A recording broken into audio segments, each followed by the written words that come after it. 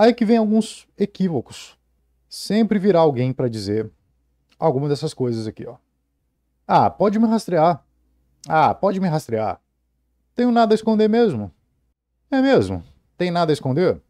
Pô, então faz o seguinte, deixa aqui no comentário seu número de telefone, seu endereço de e-mail, ah, seu endereço de residência, número do seu cartão. Só isso. Não vou pedir nenhum daqueles dados lá em cima não, tá? Suas conversas, suas fotos, vídeos, áudios, mensagens. Não vou pedir nada daquilo, só isso. Compartilha conosco aí nos comentários. Não vai, né? Por quê? Você tem sim algo a esconder. Você só acha que não faz mal deixar visível para essas empresas. Mas sim, você tem algo a esconder. Você sabe que, se deixar esses dados públicos, atacantes poderão ter acesso a isso e comprometer a sua segurança. Opa! Sim, né? Preocupar com a sua privacidade ajuda na sua segurança. E você sabe disso mesmo sem saber. Que você sabe que essas informações em mãos erradas trará sérios prejuízos a você. Agora, você acha que entregar esses dados para essas empresas, essas grandes corporações, não trará nenhum prejuízo. Ou seja, você confia demais nelas, né? Até que você descobre que essas empresas têm mais poder sobre você do que você imagina. Que elas conseguem manipular você de uma forma que você nem imaginava. Ou que elas podem compartilhar esses dados com terceiros que você nem faz ideia. Ou que elas, infelizmente, não conseguem garantir a segurança desses dados e eles podem ser vazados a qualquer momento. Basta pesquisar aí: vazamento de dados no LinkedIn, vazamento de dados no Facebook, vazamento de dados blá blá blá e coloca o nome lá da rede social ou da plataforma que você utiliza. Enfim, esse é um grande equívoco né, que as pessoas acabam cometendo sem pensar um pouco, né? Mas se pensar um pouquinho, é, você tem bastante coisa a esconder. O indivíduo diz que não há nada que fazer. Ah, é assim que funciona e bola para frente. É o famoso conformado. É claro que há algo a se fazer. Há muito que você possa fazer. Agora, você precisa sair, levantar a bunda da cadeira e é, de forma análoga, né? E ó, aprender, estudar, entender formas de impedir o rastreio e a coleta de dados, identificar quais dados são coletados e a maneira de impedi-los. Porque ficar parado sem fazer nada e não vai funcionar mesmo. Ficar parado ali esperando uma solução mágica, é, se você espera a solução cair no seu colo, aí, meu querido, não dá, né? Para ter privacidade hoje, tem que sair da internet. Esse aqui é o 880. Esse aqui é o cara que ele está nos extremos. Ou ele entrega todos os dados de boa, ou ele se restringe de tudo, de tudo e de todos. Não é assim. Encontre o meio termo. Privacidade é escolha. Você pode escolher hoje mesmo, sim. Existem tecnologias que você pode utilizar que vão te auxiliar no que você vai escolher, em como você vai escolher compartilhar dados. Você pode escolher compartilhar dados para tais empresas e para outras não. Você pode escolher o que você pode compartilhar. Agora, você precisa entender como funciona. Entender como funciona a coleta de dados, o rastreio. Mas não é 880. Não é ou eu cago para os meus dados, ou não estou nem aí e deixo coletar tudo mesmo. Ou não, ou me tranco, ou então não me conecta à internet. É paranoia pura. Às vezes, um aluno chega lá no SPD com essa mentalidade. E eu tenho que desconstruir. Calma, não é assim. Começo desconstruindo lá com as primeiras aulas. Não, não é assim. Calma. Esconder tudo de todos é só saindo da internet. Se você quer esconder tudo de todos, desculpe desapontá-lo aqui, desculpe trazer uma notícia ruim, mas só saindo da internet. Porque caso contrário, você não vai conseguir fazer nada. Caso você queira esconder tudo de todos, você não vai conseguir fazer nada online. E você vai se frustrar. E será que precisa? E você vai chegar à conclusão que não precisa. Se você não for alguém procurado pela polícia, no caso se você for um criminoso, ou se você for uma pessoa de bem, caso você seja um perseguido político, ou um advogado que está defendendo a um cliente que está sendo perseguido, ou caso você seja um jornalista. Se você não se enquadra nesse grupo de indivíduos com modelo de ameaça complicado, para que que você quer se esconder de tudo e de todos? Para que você quer ficar anônimo o tempo todo? Ah, não quero mostrar meu rosto para ninguém. Você já faz isso no dia a dia quando você sai na rua. Você pode restringir na internet. Ok, beleza. Mas de todo mundo, você não vai ter interação nenhuma com ninguém online. Isso é muito, muito ruim. Vai ser muito ruim para você. Vai ser muito desconfortável. E você vai ver que não vai funcionar. Por que não vai funcionar? Por que, que não vai funcionar? Porque você não precisa disso.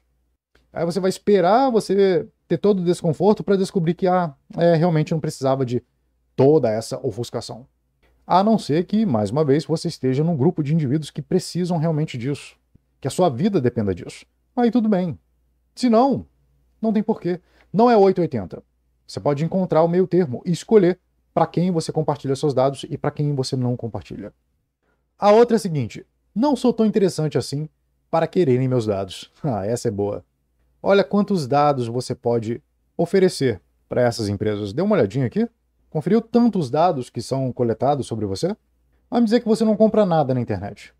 Vai me dizer que você não se baseia em informações, em pesquisas na internet. Claro, a não ser que você seja um adolescente que ainda não construiu nenhum patrimônio, beleza.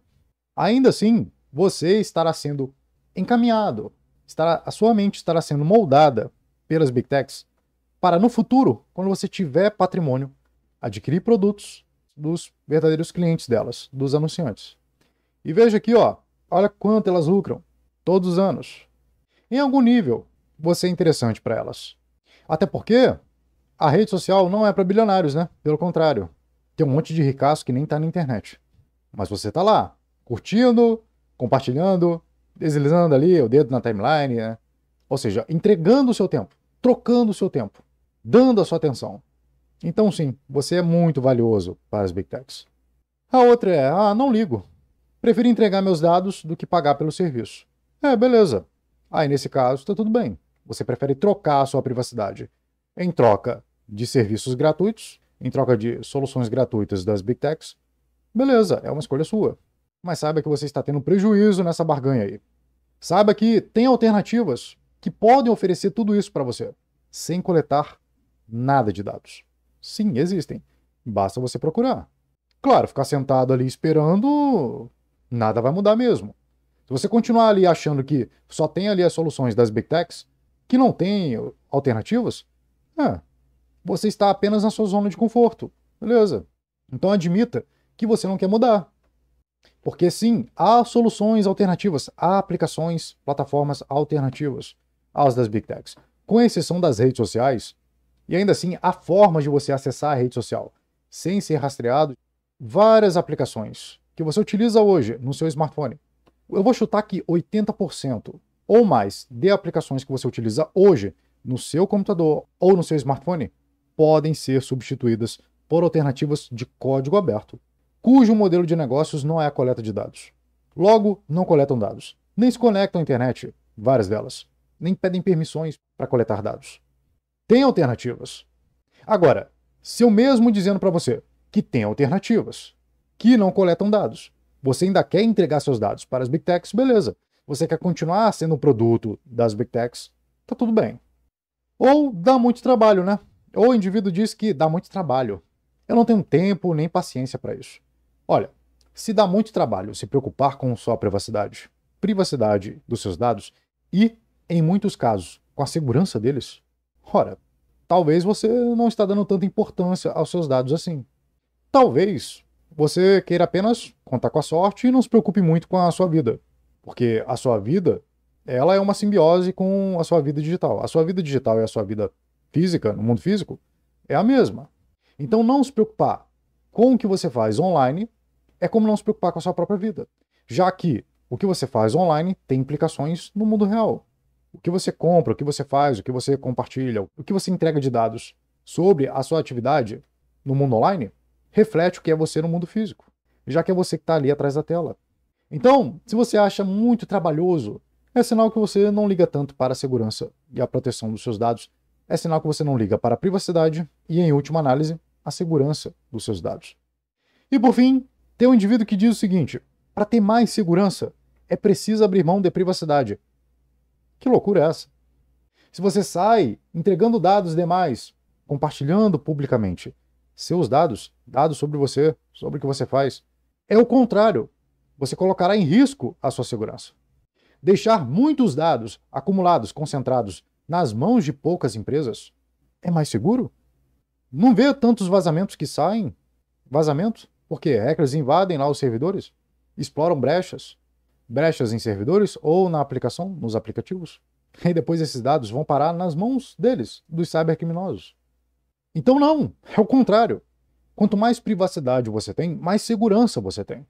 Quanto mais você se preocupa em ofuscar dados, mais segurança você tem. Porque menos informação na mão de atacantes. Então, ao contrário.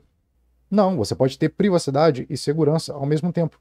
E em vários casos, a privacidade vai aumentar a sua segurança. Ok?